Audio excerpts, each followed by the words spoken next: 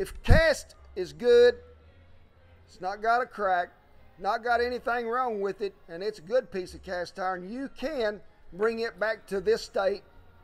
Not in one day. It didn't get rusty in one day. You ain't gonna cure it in one day. I go to them sales when I'm home, and that ain't often. I find me a piece of that old rusty stuff and I turn it over where I can look and make sure and I say, oh, that says Griswold. Somebody come by and they say, what do you think? I said, it's a piece of junk. Can't use it. I'm going to feed the dog out of it. Give him $2 for it. Take it home. I'm going to get me some hot water and I'm going to rinse it out first, sort of see, make sure what's happening. Then I'm going to take me one of them cordless drills with one of them rotary brushes on there and I'm going to go all over this thing, inside, outside, everywhere rinse it out with hot water, put it on that burner, because that rust lives in the bottom, plumb through the pores. He is done soaked down to the inside. And you got to get it warm so we can get to it. So I look in there, and there's a lot of things been living in this old rascal. He sat out there through many a rainstorm. So I tell myself, I am going to take me some salt, and I'm going to cover the bottom of that oven with that salt. It's going to be hot because we've had it warm. I'm going to take a good glove, something that's heat resistant, piece of harness leather, good piece of old leather glove doubled up, and I'm going to sit there and I'm going to go to polishing. Everywhere, inside, outside. And you'll see them salt crystals begin to disappear, and you see that rust, and you just ain't got nothing left in there but red powder because you have scrubbed and scrubbed and scrubbed hot water, pour it out. Back on the burner she goes if it's not hot enough. Rinsed out. We're going to see what it looks like. There's still rust in there. So we're going to use a lubricant this time. Any cheap vegetable oil, more salt. Go back through the same process again. Rinse it out, pour it out, dry it. Hey, we're making progress but it's still got two or three rusty spots in it. So I'm going to take baking soda. I'm going to cover the bottom of that oven plumb up. Take me a little vinegar, not much. Pour a little in there till it gets to foaming. It's what I unstop my drains with at the house. It will eat at rust. It's in there. I got me a little old bristle brush, and I mean, I go to scrub it. It's got to be warm, not scalding hot. You'll burn that vinegar out there. Scrub, all them little rusty spots. Rinse it out with hot water, set it back to dry. We look at it and we say, hey, we're awful close. But say you got a piece that is still there. Well, now you will never hear me say this but one time. I'm going to throw it in the dishwasher. Not your Maytag or Whirlpool or any of them things. I'm throwing it in Bertha and putting it on the full rinse cycle. She going to get a fire. I throw it in there, shut the door. I'm going to let her work on it a while. Then I'm going to get it out and I'm going to start this process all again. But I'm going to let this old thing get good and hot. See if I can't cook some of it out there. We finally get it clean. Now we got to start the seasoning process just like we did the first time. We got to start it all over.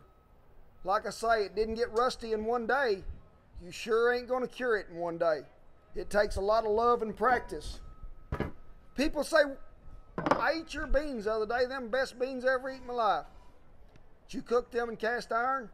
I bake beans in cast iron, but I never boil beans in cast iron. You boil beans, and a feller told me, he said, Hey, I'm gonna boil, I boiled me some navy beans in there the other day, and he said, There's white, and I put them in there, there's black when I checked them. When you got hot water in something and it's boiling hard and hard, you're eating at your seasoning, turning it loose, you get a black oily film on there You'd think the Valdez Exxon done had a wreck in it sometime. I boil my beans in old bean pots. Now, I got some of them big old wash pots, 35, 40 gallon pots. You see them setting in yards. Got flyers growing in them. That is a capital punishment offense. People should be shot for that. If they're not cracked, them things is meant to cook in, fry in, make soap in, or kill a hog. But them are a polished cast that I use. They're silver to bronze on the inside because I've never seasoned them with a coating like this because I'm frying in them or I'm boiling in them. I'll boil 400 pounds of beans, put them in about four of them wash pots. That'll feed 4,000 people. But they're not going to turn seasoning loose because they're not black seasoned. They're just a polished cast that I take a light coat of oil, wipe it out really good.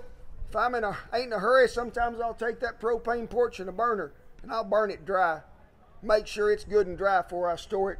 I'll turn it upside down in the barn just like that. It'll get a little air. But one thing you got to watch out for, there's things in my country that love to crawl under them wash pots and live and they rattle. And when you turn it over, they bite you. So watch out where you put it. So we know how to buy good cast iron. We know what to look for. Got to have three legs. Got to have a good lid. Got to be smooth. Some of it's so rough you may have to polish out. And then somebody will tell you, hey, I got a skillet. It's got buildup on the outside about that thick due to many, many years of cooking. I don't know how to get it off. You get it good and hot, you take a putty knife sometimes if you want to work that hard. But if it's got to that shape, it needs a fire bath. Set it in the fire, it'll cook it off. But you lost all your seasoning, remember. But it'll get it back to its original state, clean. Lady told me uh, yesterday, I got a skillet at home. It's warped so bad. When you crack an egg, it tries to run to all everywhere. It's got a dome in it. A lot of that cast is really old stuff that that has happened to, or it's really cheap piece of cast. But I've seen a lot of them old Griswold pieces that are hundreds of years old that ain't no telling what all they've cooked, and I mean they're as good as gold. But they got a little thin, got a little too hot, and they warped. I don't recommend this to everybody, but I have took some of them that I wanted to save. Get them pretty hot, because you got to get hot. You got to temper cast. Get it good and hot.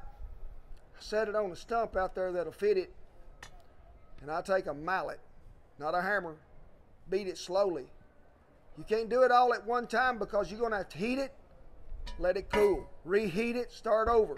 You ever weld on cast iron or somebody uses it? It's a slow process. You got to heat cast, weld it a little while, let it cool, heat it back, weld it again. Same way if it's the inside beveled up. Sometimes you can work that out, but if it's an old thin piece, you'll crack it most of the time. Don't ever be afraid of cast iron. Buy you some. Cook in it, clean it right, store it right, season it every time you use it. Every day. I don't care how many times you use it, season it every time it's done. Make sure you, you get the moisture dried out of it before you store it. And cook something. Take one of my cards over here, and then when you get it done, call me and I'll come by and eat.